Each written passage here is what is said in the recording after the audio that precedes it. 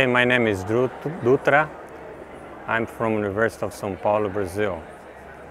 Uh, I'm the leader of the project named OER Differentiation.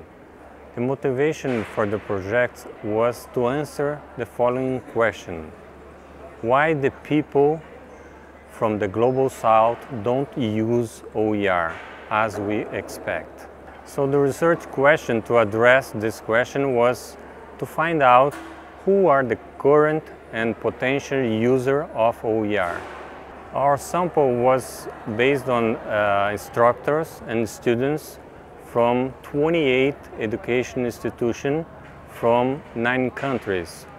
Uh, from, for example, from Latin America was Brazil, Chile and Colombia.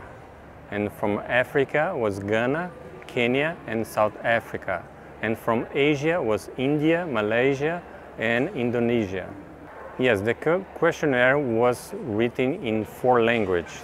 Was written in Spanish, Portuguese, English and Indonesian. And the instrument was available online using SurveyMonkey. And some of them we use hard copy because there was not internet available for the students and instructor.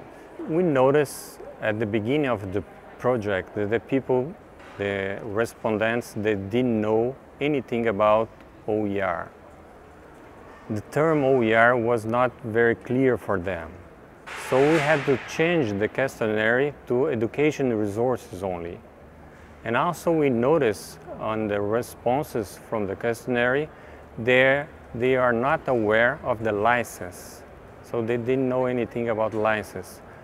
I can give you some numbers. For example, 90% of the people haven't used any kind of license. Even for the Creative Commons, that's very common for, to us, only 10% have ever used Creative Commons as a license. In terms of infrastructures, we have some interesting numbers. Uh, we already know that the infrastructure in these countries is very poor. For example, uh, the people, uh, they don't have access to internet, uh, very good internet, I mean. What I mean good internet? I mean speed, stability, and also the price. And what we have seen that the people don't have access to this.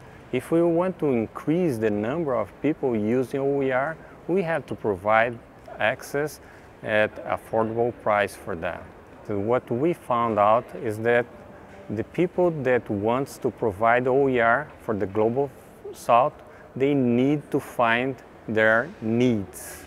So we must provide something that are useful for them. And how do we do, we do that? We ha have to ask them and provide the best resource that can help them to do their own things. Because some of, the things that are available in the global, now, south, global north may not be available, may not be suitable or usable for the global south. I think this new wave about the OER movement is regarding the way that you use. For example, I think the solution comes from the revise and remix type of use of OER. But again, we need to revise and remix with local flavor. What I mean by local flavor? I mean that we have to use local language, uh, we have to look local example. So to engage the people to use and create OER.